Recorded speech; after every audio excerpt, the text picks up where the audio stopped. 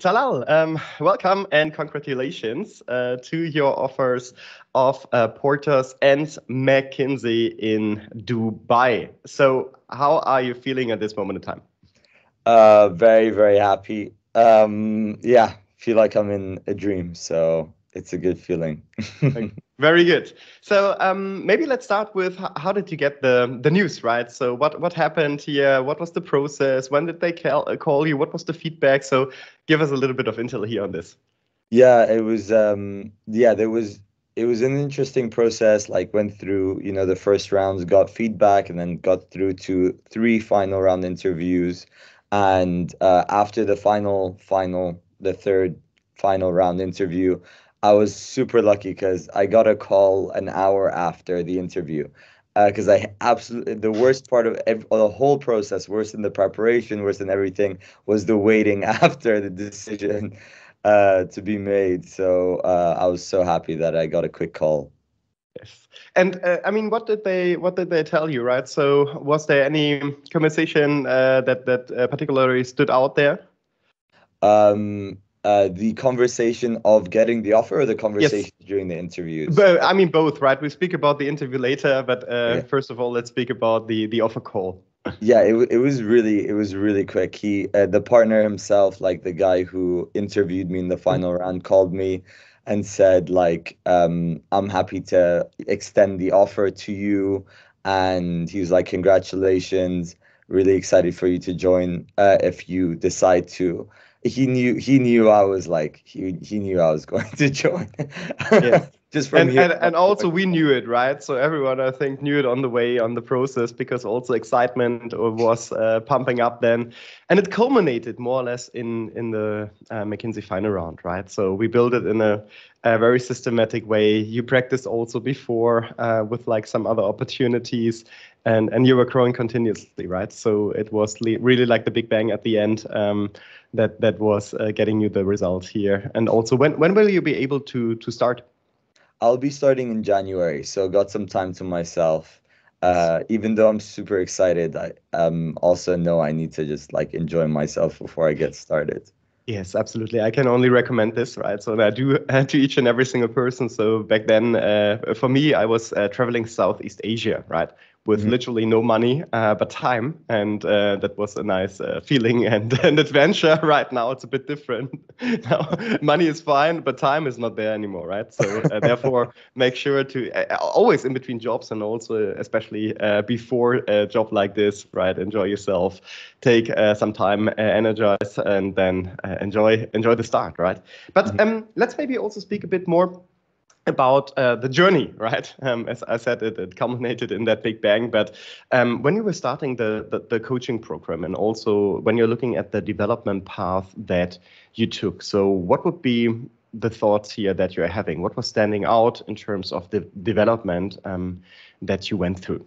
Yeah, so I think my my start is is uh, pretty unique. Um, first of all, I wasn't totally convinced at the before I signed the the the start of the program. Yes. But obviously, once I commit to it, I I go 100%. Um, but before I had a long conversation with Sidi, and he took a lot of convincing. I needed to speak to like alumni from the program to see it's legit. Um, I needed to make sure that this is the right place for me. But once I started, that's it. Like for me, I'm totally bought in. Um, and in the beginning, I had z- very little um, experience from the normal things like uh, case in point and all that kind of stuff, um, which is good and bad. Like uh, for me, it was a struggle to get used to all of it. But the good thing is that I didn't have, I didn't, wasn't relying on like old habits to break yeah. old habits. Yeah. So uh, that was the difference for me, I guess. Uh, it took a while for me to grasp the fundamentals but once I got the fundamentals, I think I was like practicing so much uh, that it made it so that I was solid by the end of it. Yeah, and um, I mean, so from for, for, me, it was also an interesting journey to observe, right? So I'm not sure if you remember um, at the early touch points, which were uh, not pointing into a direction of excellence. Let's uh, let's frame it like this, right? Mm-hmm. Um, but what I saw with you are two things, and, and that was uh, also amazing to to see from our perspective, from my perspective, right? Once it, one thing was you spoke up if there was something that you didn't understand, right, and and also that um, you were unclear about, uh, and you are also pushing pretty hard, right? So which I I like um, because ultimately this is also something you need to do if you want to learn something new, right? Because no one can look inside your head; it's impossible, right? So so here this was the one thing, and then you just relentlessly executed up on the feedback, right? Um, uh, to the point when you got it right, and this was also amazing to see, um, and also just like a great professional ethic here at, at, at work, right? So um, therefore, I'm I'm also 100% 100% uh, sure this will be uh, leading into a great career because you sh- you showed all characteristics and traits that you would expect um, from a young consultant um, in the first like 24 months. Uh, so um, I'm pretty sure this is also an environment where you will thrive. Um, so great, right? Um, now, speaking about the conviction at the beginning, so did you think this was a scam at the very yeah. beginning? okay, second person, right? I'm, I'm, I'm, I'm just like starting to ask this now uh, to, to everyone I'm speaking to, right? Uh, because I, I, I, love it. I love it. Um, okay, so it took some time here to convince yourself uh, on it, right? Um, uh, okay, I take this as a feedback. Good. Um, so in terms of the development path you took is there anything particularly that stood out? Um, any of the the elements or any moment of truth? So what would you say what was like the the, the most important um, steps on the way yeah i think for me uh, because of like my my situation where i was struggling to grasp the fundamentals mm-hmm. practicing was like the really really big game changer for me and it was a specific way that i i practiced um, so um, I would do a lot of peer practices with fellow peers, but I record every single peer practice. Like I have like maybe like 70 plus recordings on my phone. Um, and I would listen back to every single recording and I would um, I would like uh, critically and analyze my performance every time. And obviously, you know, like I'll put it at 1.5 or 2 speed so that yes. I can get through them faster. Yes. But uh, but after every peer practice, I was looking at that, and it was amazing to see in the beginning. Like if I did a good performance, then I'd be so happy. But by the end of it, if I did like a good performance, I'll be down. Like I'll be sad because I needed like I was by that time I was used to having like excellent performance every case. Yeah. So like um, for me to see that progression every every uh, day uh, I was peer practicing. Um, it's that's what really kept kept me going and and helped me to realize I'm on the right path to yes. getting to the direction where I want to go. So. I, I really like this, right? so two two points maybe from from from my end. So one of the the concepts here is indeed to observe yourself because um, I mean the, the, the mentors are here to give you direction, right?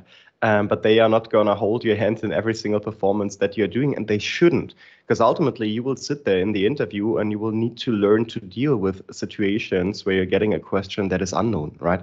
Yeah. And this needs to be a mindset that that needs to be instilled at this moment, um, because this will happen in like four rounds of, or like two rounds, or, but but four interviews, sometimes five, sometimes six even, um, in total. And this is also a mindset topic. And what I've realized. Um, is that not many individuals are listening to themselves. And if you do this, and uh, whoever is, is watching this here, I can only recommend this. It is an absolute horrible uh, situation usually if you if you're forced to listen to yourself the first time because what you think and also how do you believe you convey messages is not how you're actually doing it so if you're forced to listen to yourself and you really think about what what actually did I say there? So uh, out of the, perspective of someone listening to you, this is a, a very surprising uh, moment usually for most people at the beginning. But you're getting used to this. Now, the one thing I want to calibrate this or also add a bit is in terms of how you are thriving then. Because ultimately, once you have the direction and the feedback, you will have two to three observation areas that you will need to get under control, right? It's a step by step process. You cannot fix every single thing at the same moment in time. It's like learning to drive a car, right? So you will not be able to do it all at once.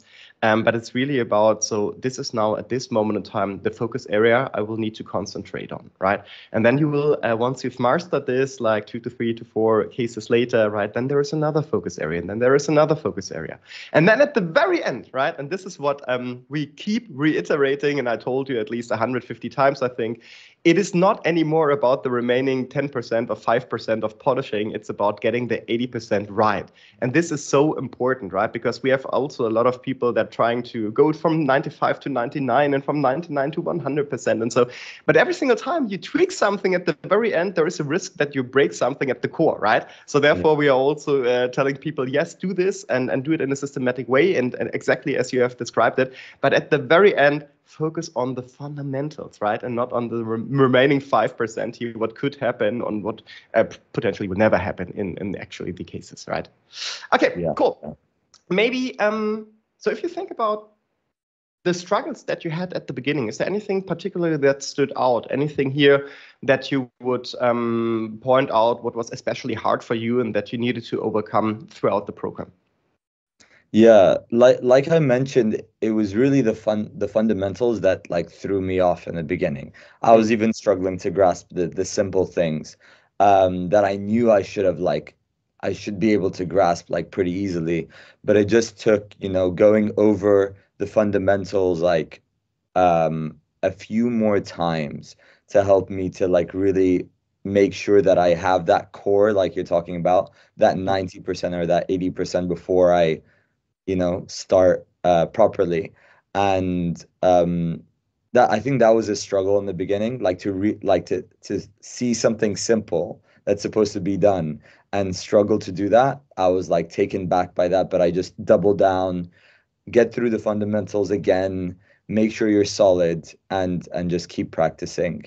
Um, and it, it, worked itself out in the end. Uh, but yeah like you said the fundamentals are so important and uh, by the end of by the end of it you'll get a super unorthodox case and you'll still be able to solve it. Yes.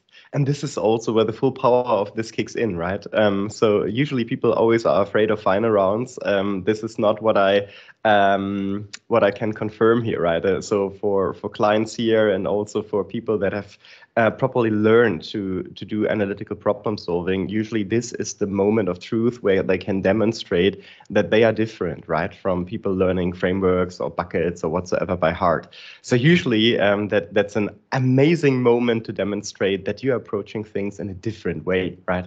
Yeah. So um, great, cool. But let's let's let's finish this off, um, Talal. So is there anything that you would suggest individuals that are just about to to start their preparation journey? Mm-hmm. Yeah. Um, for someone who's about to start, I would mention, I would remind them of something that's very simple. Like when it comes to uh, preparing for this kind of stuff, they're very cutthroat. If you don't get in, you have to wait another year, and another year is wasted, right? So take your time, prepare properly, so that you don't waste a whole nother year of your life. Like even if it takes months, like I can, I can just confirm. I I took from my first day of doing the first preparation material to getting the offer seven months right? That's oh, like wow. quite, it was even seven right? So i would have i would have guessed it's like, like four to five but it was even seven for you. Wow. Yeah okay. yeah yeah. Well like starting literally the first day. So um yes. yeah seven months till the offer. And you know even if it takes that long it's worth it because now you've saved five months of your or yeah, like it would be even longer than five months that you'd wasted if you if you did like your prep in like one month, let's say. And even one month is like normal, but like really sit down, get the right people behind you, the support you need, get and like put yourself in the best competitive advantage position you can, because there are a lot of candidates out there.